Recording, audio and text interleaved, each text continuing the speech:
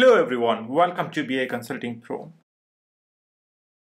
This is a very special video because in this video I'm going to tell you where you can find the data sets for your Power BI practice or if you would like to create very stunning Power BI dashboards so where you can get the data. Many of you have already asked me so many times that you need my dataset, my .pbix files, or you always ask me from where you can get the data for creating your Power BI dashboards and all. In this video, I'm gonna let you know some of the very useful websites where you can get the datasets that you are looking for. So what are you waiting for? Let's get started.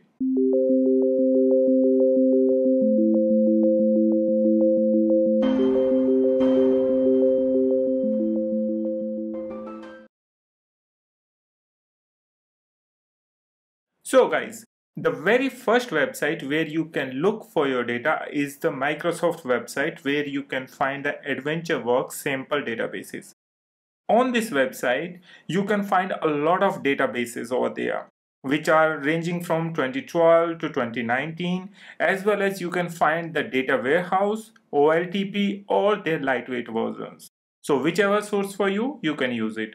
Not only that, on this website, you can go down and you can find the ways how you can restore to SQL Server or what are the different steps that you can deploy to Azure SQL database or deploy to database from SQL Server. Also, how to create a scripts and other details are mentioned on this website. So please do go there and check this out. Another advantage of using this, you can download free version of SQL Server Data Management Studio and over there you can use these datasets. If you already have SQL Server, then there is no problem. But if you don't have and you want to install the SQL Server, you can download free developer edition from the Microsoft website. So the another favorite of mine is the Kaggle. So you can go on the Kaggle websites, you will find the whole sets of data sets over there. And there you can find whether it's a healthcare or it's a financial or any other kind of data sets. So as you can see now on your screen, these all are the data sets which you can use it or you can just click on this data sets and there you will find a large number of data sets. So you can download whichever you would like to use. Now we are gonna move to my third best option that I would like to use if I'm not gonna use first two. The third one is countries data. So data.worldbank.org is the organization that has these data sets which you can use at any point of time.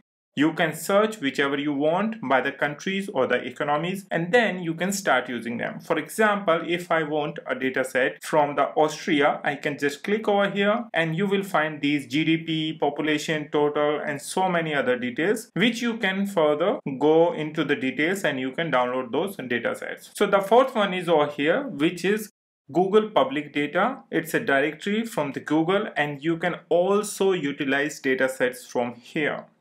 Now we are going to move to the next one. Next one is from Singapore. The next two data sets we are going to discuss right now are from the Singapore government. As you know, currently I'm living and working in Singapore and I can definitely use them. So one is singstat.gov.sg. You can come over here and you will see, you will find the different data sets over here. For example, manufacturing, you can click over here. Then you will come down and you will find the different options over here. And here you will go to this one, download all in Excel. So that's how you can get these data sets as well. Now let's go one step further on Department of Statistics in Singapore. And now there is a link where you will see all the international links. You can find all the statistics from all the bodies over the world and here you can see all the international bodies are over here including your the World Bank and World Health Organization. You can click any of the link, you will read out on their website and from their website you can download the data. And if you are looking for national statistical offices around the world for different countries like Australia, Bangladesh, Brunei, Cambodia, China, Fiji, Hong Kong, India, etc., you can go to their respective websites and you can download the data from there. That data you can use to create your Power BI dashboards and reports and you can explore more and more data over there. For example, if I click on World Health Organization WHO website, let me open in another link over here. And now we are over here. So you will find this link data, click on this and there data at WHO. You have to go there, click on global health estimates. Now there you will find all the information regarding this. So now what we have to do, we have to find our data, how to get this data. So let's go down and here you will find a link.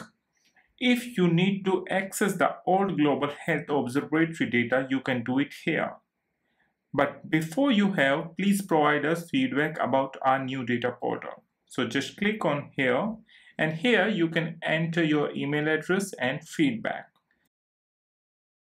So now as you can see, once you are going to submit, it's going to give you this portal and over here you will find the different data. So you can click any of the link, for example, body mass index, I'm clicking over here and here the different sections are gonna appear.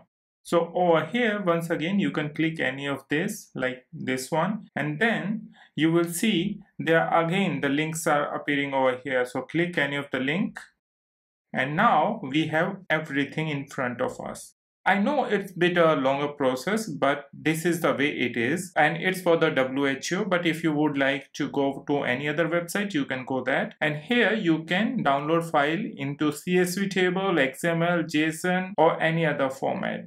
So that's how you can get all the data you require to build your amazing Power BI dashboard and reports.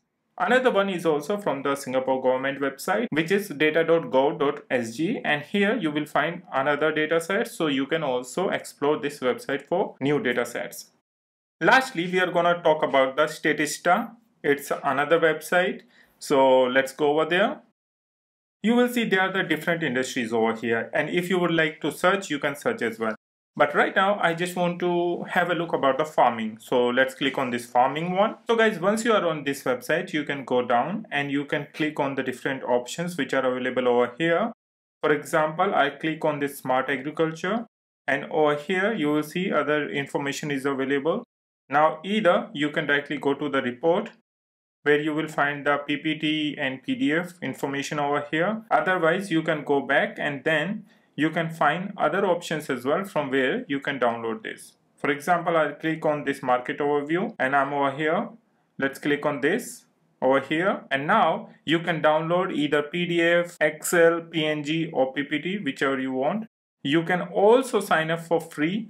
So just try to explore the different options so that's how guys, there are so many data sets available over the internet and not only this, you can go to the US websites like US traffic data or US restaurants data or similar to this and you would easily be able to find those data sets. Overall, please don't wait for me to reply on the comments. You are wise enough and I'm sure if I can do it, you can do it.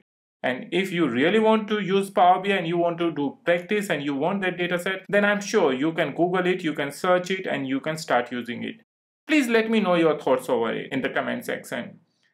I hope you liked today's video. If you have any question or concern, you can comment in the comment section and don't forget to subscribe our channel and hit the bell icon for all the latest videos and updates.